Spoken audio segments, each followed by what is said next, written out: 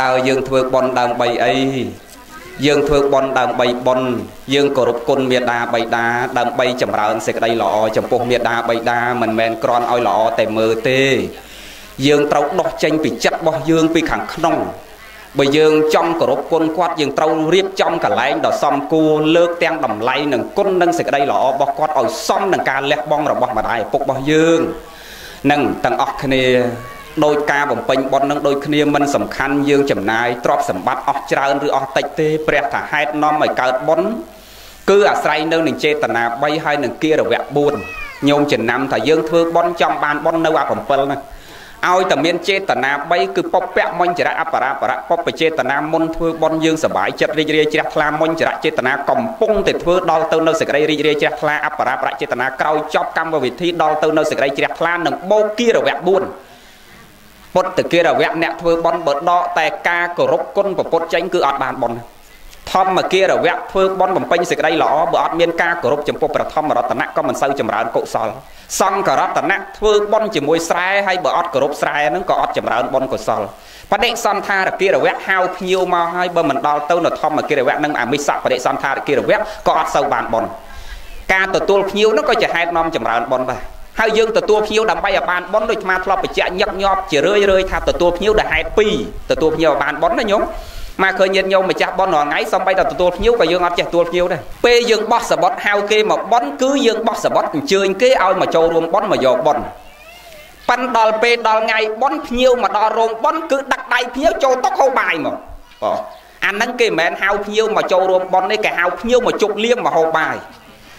បើហៅភ្ញៀវមកយកប៉ុនយើងដូចយើងបោះសបុតហៅភ្ញៀវមកចូលរួមប៉ុនថ្ងៃហ្នឹងគឺពេលភ្ញៀវមកដល់រោងប៉ុនត្រូវលើកដៃសាពះភ្ញៀវដាក់ដៃភ្ញៀវមកថ្វាយអង្គមព្រះមកសាពះប្រសង់ហើយជូនប៉ុនដល់ភ្ញៀវសិនអរគុណហើយអ៊ំហើយអ៊ំបានមកចូលរួមប៉ុនខ្ញុំសូមឲ្យអ៊ំទទួលបានប៉ុនកសលស្មើ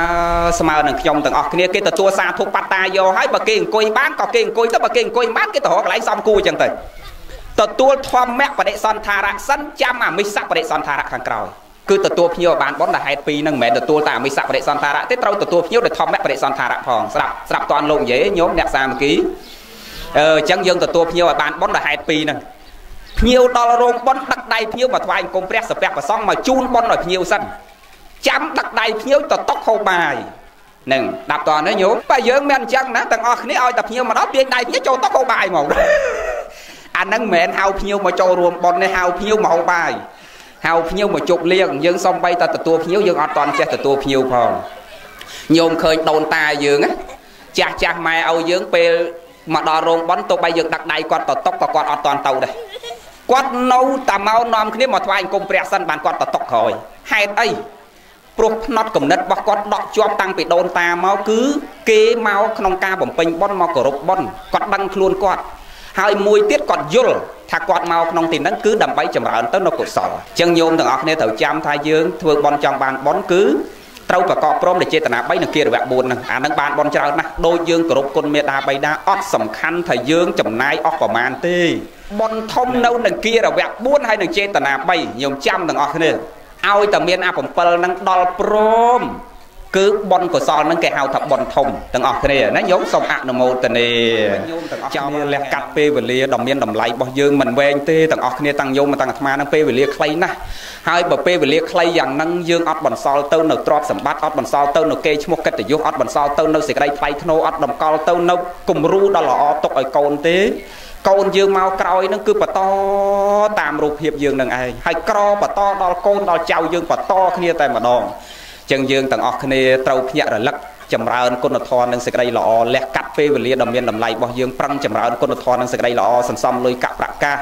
និងឲ្យលើកទឹកចិត្តកូនឲ្យរៀនចប់ចុងចប់ដើមដែលឲ្យទៅបានត្រឹមបាក់ដប់ទាំងអស់គ្នាកូនចៅយើងទៀបបំផុតត្រឹមបាក់ដប់ដែរកូនប្រុសទៀបបំផុតត្រឹមបរិញ្ញាបត្រដែរទើបយើងអាចញ៉ាំងជីវិតយើងបន្តទៅសង្គមខាងមុខគឺគេលែងប្រើកម្លាំងមនុស្សដោយសពថ្ងៃហើយសពថ្ងៃកូនយើងអាចទៅធ្វើសំណងមកចិញ្ចឹមយើងបានអាចទៅធ្វើការងាររោងចក្រចិញ្ចឹមយើងបានតែអនាគតទៅមុខមកគិតថាយ៉ាងយូរបំផុតគឺ50ឆ្នាំទៀតគេលែងប្រើកម្លាំងមនុស្សហើយគេប្រើខួរក្បាលមនុស្សនិងបច្ចេកវិទ្យាទាំងអស់ជំនួសយើងគ្រប់គ្នាបើយើងគ្មានចំណេះដឹងទេយើងអត់អាចរស់នៅក្នុងសង្គមមួយនឹងបានទេញោមពិចារណាថាជំនាន់ញោមឆ្នាំ8ជាងពេលអត់លុយចាយទៅដកសនាបឲ្យគេមកព្រឹកបាន2000មករស់បានមិនអញ្ចឹងដកសំណាប់ស្ទង់ឲ្យគេមកព្រឹកបាន3000មករស់បានប្តីយើងអាចចុះជួឲ្យគេមកព្រឹកបាន2 3000យកមកហូបបានប៉ុន្តែសម័យនេះគេលែងយកមនុស្សទៅស្ទង់ឲ្យហើយគេលែងយកគូយកនង្គ័លទៅជួឲ្យគេទៀតហើយ ចឹងត្រឹមតែសម័យយើងឥឡូវហ្នឹងក៏គេលែងចង់ប្រើមនុស្សហើយចឹង50ឆ្នាំទៅមុខទៀតបើយើងអត់លើកទឹកចិត្តកូនឲ្យខំប្រឹងរៀនសូត្រស្វែងរកចំណេះវិជ្ជាមកដាក់ខ្លួនអត់សន្សំលុយកាក់ប្រាក់កាសដើម្បីបង្កើនមុខរបរចិញ្ចឹមជីវិតបន្តទៅមុខទេយើងអត់អាចរស់នៅក្នុងសង្គមនឹងជាមួយគេបានទេទាំងអស់គ្នាត្រូវចាំណាញោមអនុមោទនា